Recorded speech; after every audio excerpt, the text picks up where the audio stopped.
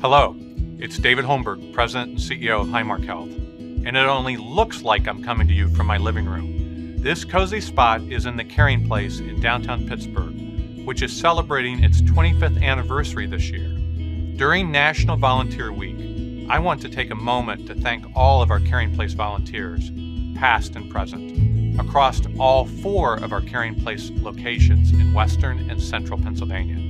25 years ago, we opened the Caring Place as a sanctuary and safe space in which grieving children, teens, and adults could receive encouragement, peer support, and links to critical resources following the loss of a loved one without cost to the families.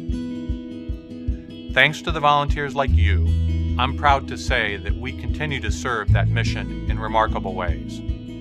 Since the first Caring Place opened, we've been honored to have more than 2,800 people volunteer to help grieving kids and families. People from all ages and backgrounds have opened their hearts to children and families during a complicated time in their lives.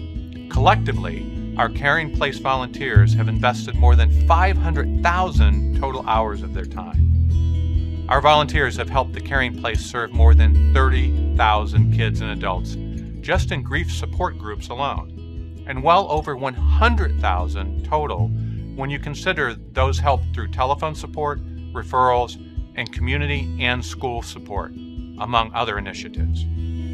We hear from Caring Place volunteers all the time about what a privilege it is for them to work with the kids and families.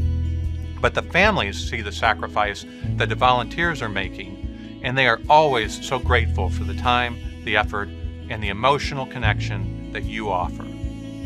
I consider it a privilege to get to know some of the kids and families who come through these doors, and volunteers like you.